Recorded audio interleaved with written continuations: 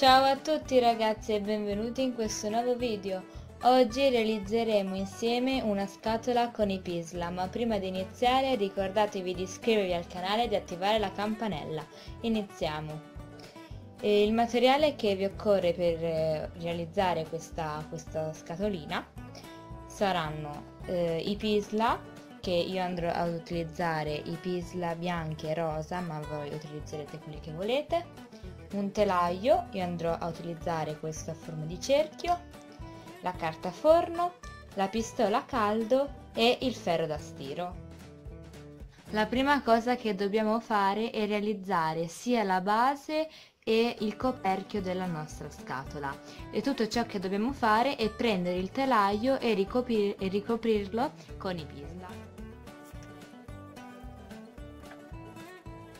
Poi avete ricoperto tutto il telaio con i pisla andate a prendere il ferro da stiro e eh, mettete sopra, la, sopra, il telaio la carta forno e, il, e, pesate il ferro da stiro sopra finché eh, i, i pisla si eh, attaccheranno tra di loro e subito dopo togliete la creazione dal telaio.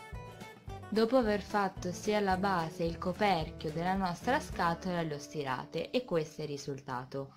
Adesso andiamo a fare i lati della nostra scatola e per farlo dobbiamo prendere i pisla, sempre del colore che volete, e eh, riempire eh, soltanto la seconda e la terza striscia del nostro cerchio o quadrato, insomma io utilizzerò il cerchio.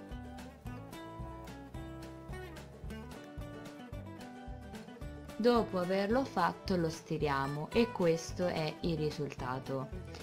Noi dobbiamo fare fino a quanto vogliamo fare alta la nostra scatolina e ne andremo a fare all'incirca una decina del colore sempre che volete.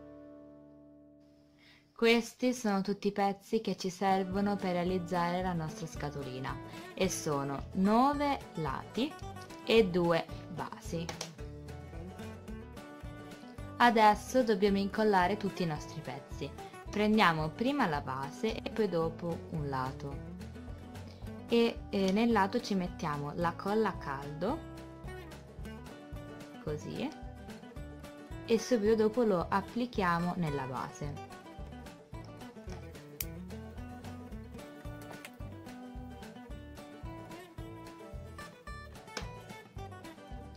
E facciamo così con tutti i nostri lati.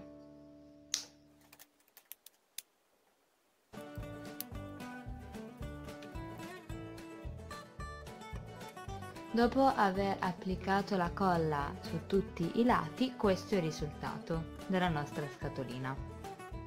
È molto semplice ma molto molto carina.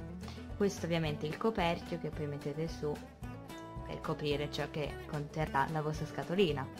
Ovviamente ci potete mettere, che ne so, braccialetti, oppure dei bottoni, oppure tantissime altre cose e voi la potete fare alta quanto volete, io l'ho fatta così, di 9. Spero che questo video sia stato utile, che vi sia piaciuto e noi ci vediamo con un prossimo video. Ciao!